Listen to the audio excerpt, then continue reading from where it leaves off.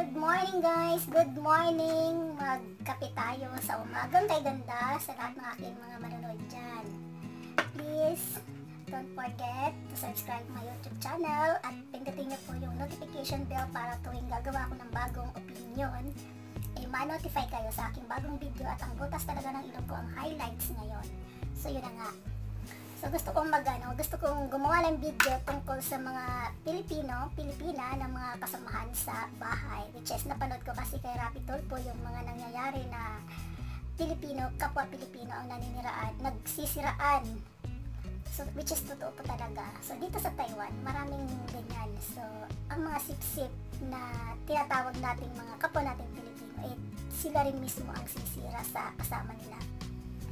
So, yun na nga. Meron akong kakilala na talaga namang grabe ang sip-sip niya sa amo, which is nakakaawa yung mga kapwa natin Pilipino kasi nga alam mo yung mga kapwa natin is may mga problema din silang hinaharap sa Pilipinas na na alam mo yung nakakapagpabigat sa loob nila tapos pagdating sa trabaho kasamahan mo, may kasama kang Pilipina, instead na maging sandigan mo sila, sila pa ang magiging dahilan ng kasiraan ng ulo mo dito sa abroad. So, is ang dami po dito. At saka dito sa Taiwan, marami rin ang nagsusumbungan, alam mo yung mga legal at saka yung mga TNT na, meron maraming TNT na, ano, na nagtatrabaho dito sa Taiwan. So, kapag may nakilala kang legal, pipiliin mong mabuti yung dapat mong pagkatiwalaan kasi hindi po lahat napag, napagkakatiwalaan. Gaya ng sabi ni Serapi Tulpo, mas mainam lang mag-ingat kesa sa makisama ka.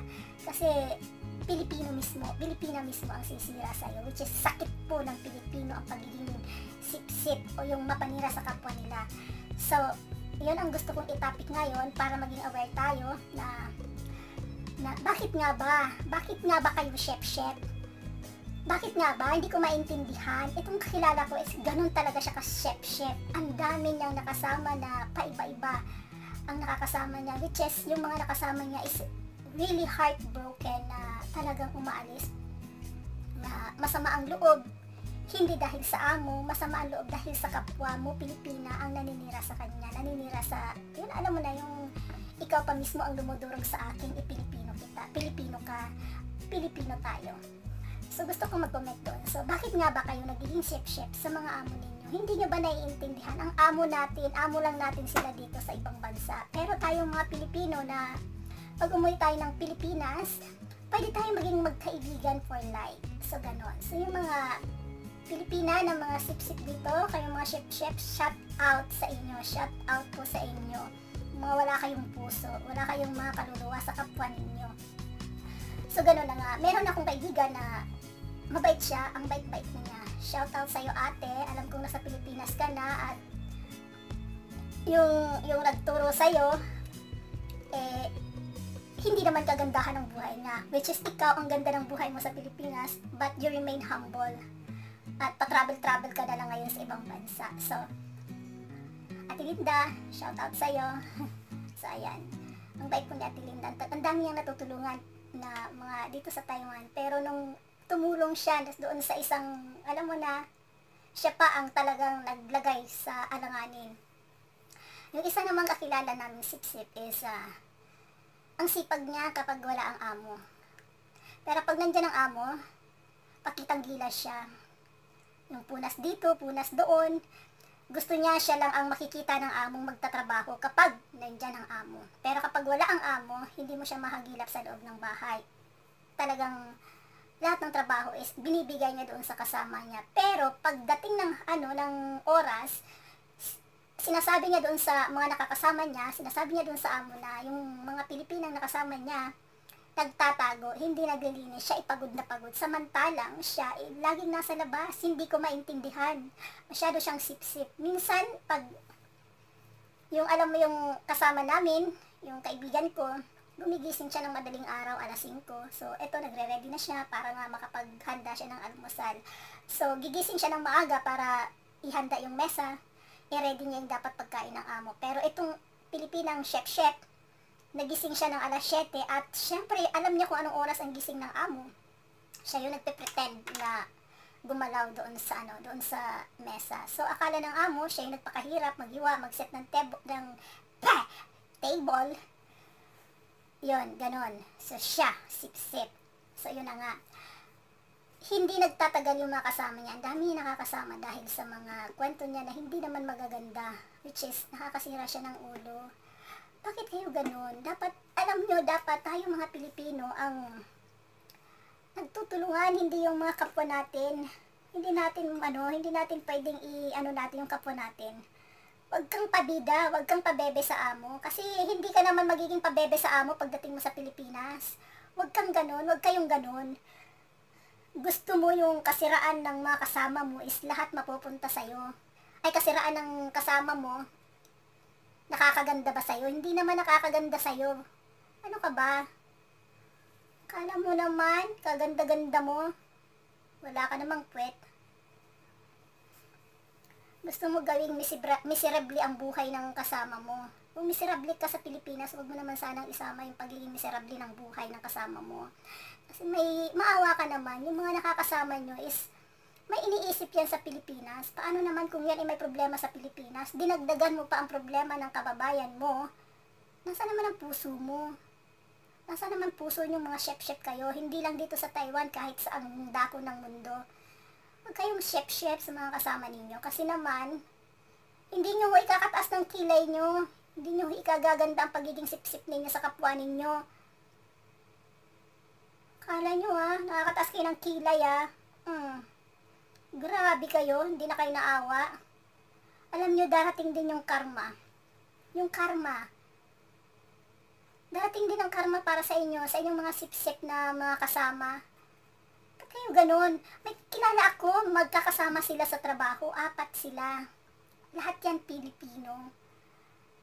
Okay naman sila, magkakasundo naman sila, magbe-best friend sila, nagtutulungan sila. Bakit itong isang Pilipinang ito, kung makapanira sa kapwa niya, grabe ganun-ganun na lang.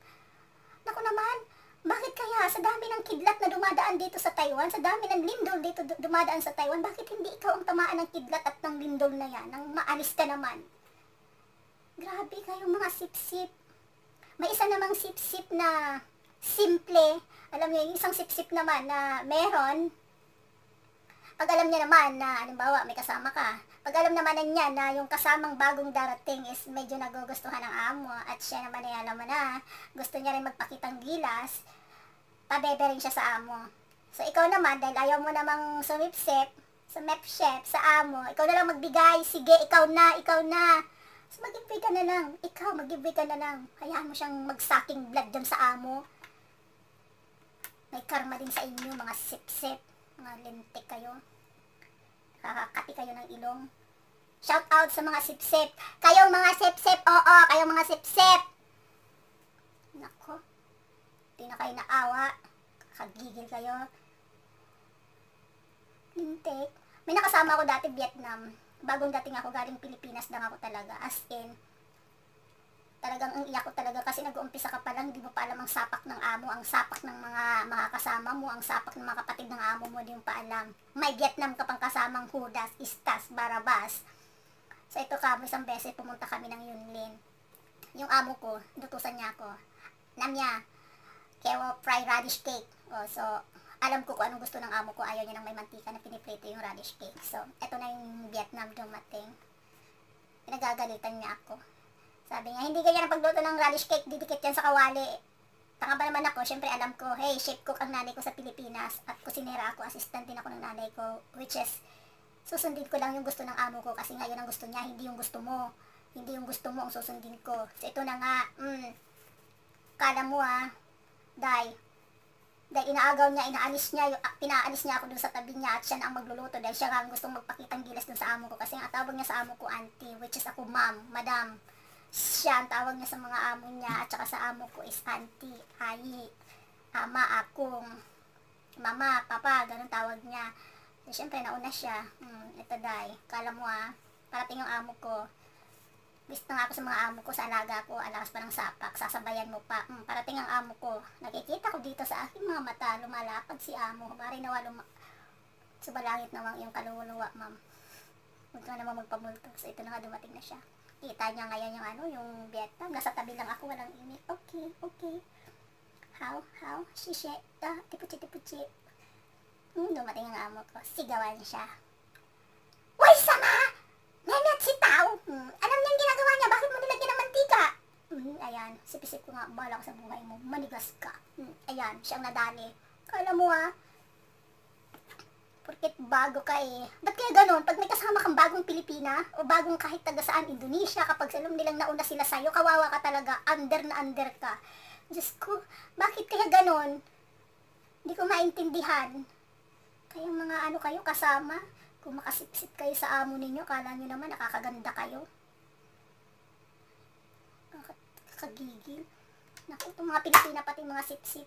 Naku, pag ako may nakasamang Pilipina sipsip, naku, papariding in tandem ko kayo sa Pilipinas. O kaya, ilalagay ko kayo dito sa ano, lulubog ka kayo dito sa isang drum kong kape. Kakainis, daming sip-sip kahit saan. Puro na lang reklamo sa sip-sip. Tamo yun doon kay Serapi Tolpo. Kahit sa Amerika, kapwa mo Pilipino, kapwa mo Pilipina, babanatan nyo. Asa naman ang mga puso ninyo? Hindi ba pwedeng sabay-sabay na lang tayong umunlad? Hindi ba pwedeng sabay-sabay tayong yumaman? Hindi ba pwede yon? Sip-sip. Kakainis kayo. Kaka-high blood. Ako naman. Magkape muna tayo. Hmm. Salamat sa kape amo. Hmm. so hanggang dito na lang po. Hanggang sa uulitin. Please, like, subscribe my YouTube channel para naman po kayo ma-update at makatulong na rin kayo sa akin. Parang awa nyo na mga day. Subscribe nyo naman yung aking channel. Parang awa nyo na. Please po, share nyo na po. Maawa na po kayo. So hanggang dito na lang. Salamat ng marami hanggang sa susunod. Tron!